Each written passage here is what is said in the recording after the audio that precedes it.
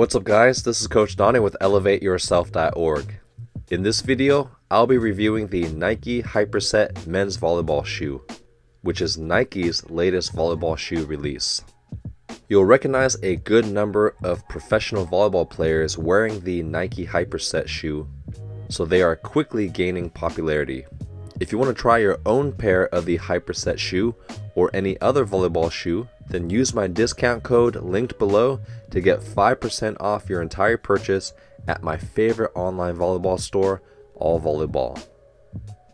Let's see what this shoe looks like straight out of the box.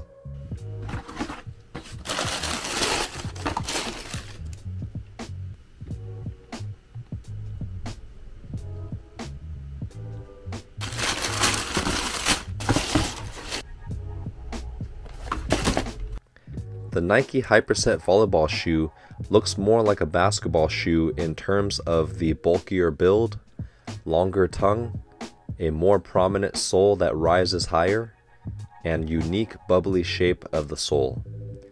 These are all aspects that are not typical for a volleyball shoe.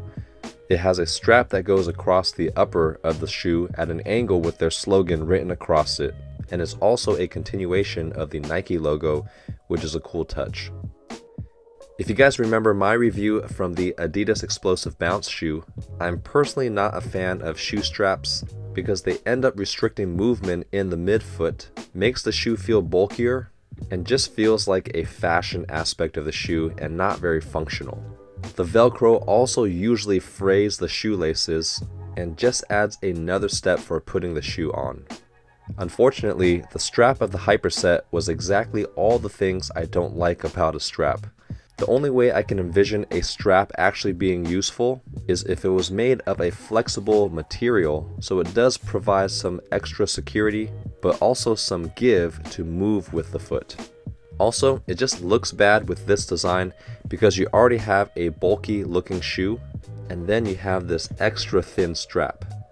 The upper material on the outside is very soft and breathable all the way around and much thicker than any other volleyball shoe I've worn. The padding is a little too thick for my foot, partly due to my feet being wide. Even then, my foot still felt way too tight to the point of feeling suffocated. In terms of the performance, the traction actually felt great.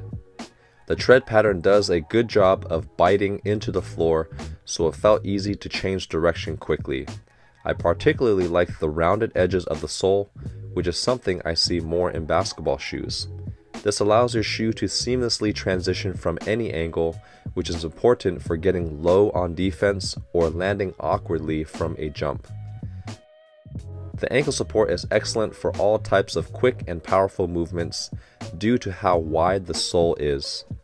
I love the rubber material on the bottom, which is the same rubber as one of my other favorite volleyball shoes, the Nike Air Zoom Hyper Attacks. I wish more volleyball shoes had this type of traction. I actually like it more than the Asics Sky Elite shoe, which is almost too sticky to where my foot gets stuck to the floor sometimes. The Hyperset is a perfect balance between just enough slide and just enough bite on the floor. The sole is made with Nike React technology, which you see mostly in the running shoes. The sole is fairly thick compared to the typical volleyball shoe and the rubber is also fairly stiff.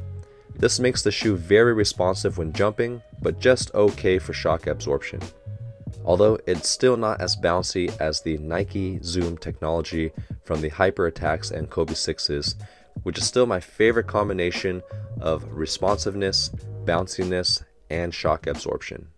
If you want a very soft feel when you're landing, then I recommend going with the Asics Sky Elite shoe. Overall, I was really looking forward to the Nike Hyperset volleyball shoe because I had such a great experience with the Nike Air Zoom Hyper Attacks and the Hyper Ace 2 volleyball shoes. Unfortunately, it was just too tight and uncomfortable to wear. If you remember from one of my practice videos recently, the shoe actually cut into the inside of my ankle where it started bleeding and this happened on multiple occasions. So the edge started cutting into my ankle and started bleeding. I think because my wide feet and I just have probably thicker ankles. I think it was due to the top of this stupid strap. Now, if some of the top players in the world are wearing these shoes, it must be comfortable for certain athletes. Maybe athletes who have long and skinny feet and thin ankles. I really wanted to like this shoe. The performance is definitely there, but the comfort is lacking. I still think it's worth testing at your local shoe store because in terms of performance, it's very responsive, has excellent support, and very durable. But I must be honest, it was one of the most uncomfortable shoes I've worn in a long time. But that just might be me and my wide feet and ankles. Let me know in the comments below what your favorite volleyball shoe brand is and why. Make sure you watch all my other volleyball shoe review videos linked in the playlist below. Thanks for watching this video and we'll see you in the next one.